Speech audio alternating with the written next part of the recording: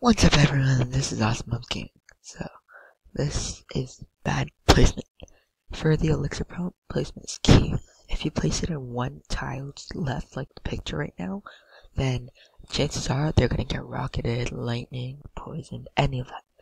But, so, I know OJ made a video on this, but elixir, it does come out every 6 seconds. In double elixir, it comes out every 3 seconds and then I think it comes out in 2.8 seconds in overtime. So there's actually a sudden death challenge going on in Clash Royale, like on Friday. I think I'm gonna post on Friday. So in that challenge, you'll be able to get 1,000. Oh yeah, these may change. 1,500 gold at two wins, 3,000 gold at five wins, 7,500 gold at eight wins, 15,000 gold at 10 wins, and 30,000 at 12.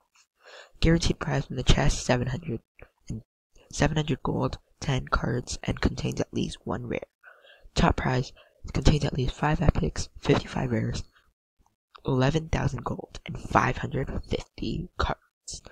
So you're gonna get a lot of gold from this. So if you guys are waiting for your legendary to buy it from the shop, then after this you'll probably have enough. But yeah, for the elixir, make sure that you like when it starts overtime, it gives you one it gives you plus one elixir and it doubles, like it completely doubles the production time of one elixir. So if you guys do want to, like, if you guys are at eight elixir when it when like double elixir time drops, then you're gonna have ten, like almost ten, cause yeah, and then sometimes, as OJ pointed out with gameplay, so you can actually yeah, I'm, I'm probably gonna put his link in the description. But yeah, uh, he did, uh, he, on his video, he actually showed getting four elixir when you're at two elixir.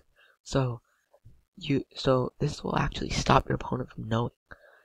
So you just have to wait. This, this requires precise timing. So if you guys don't know how to do that, you better like try on training matches and stuff. But if you actually do it in a real battle and you know how to do it, it's pretty easy to pull off. And they're not to say you're hacking. Maybe. Probably. I don't know. This is what you don't want to do. You don't want to lure like dark princes, princes. You don't want to lure them to your elixir pump. So you always place it in like in front of your king tower or in the corner. In front of your king tower is the best in 2v2 because then they won't be able to rocket like both your arena tower and your king tower. They will be able to hit your king, I mean, arena tower and the pump. But if, but if they hit the king tower, then it's activated. So these tips are pretty good when you still have three towers up. I know some of you guys like to spam elixir pumps. I like to do that sometimes too. But it does make them very rocketable. So if they rocket it, then yeah. I know Orange just made this video, so you guys go ahead and watch it too. I'll just put OJ's link in the description. Very advanced, but yes, you can count your opponent's elixirs. This is a really old picture of a deck that I used to use when the Night Witch first came out.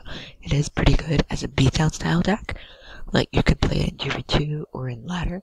And then, even though it's very heavy with the elixir pump, you just have to place it correctly, and then you'll be able to outpace your opponent with elixir, even with that high elixir cost. Stay tuned for more quality gaming.